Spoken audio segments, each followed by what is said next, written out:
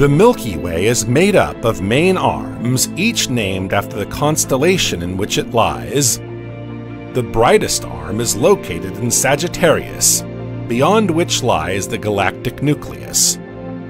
The solar system, contrary to what has been thought for many years, is close to the inner edge of the Orion arm. All the arms lie in a plane, defined by the galactic disk.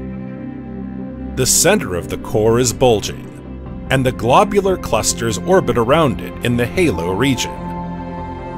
Seen from the front, the Milky Way resembles an enormous rosette. Most of its light comes from the arms that spiral out from the central bulge. The material of the arms is only slightly denser than that of the rest of the disk.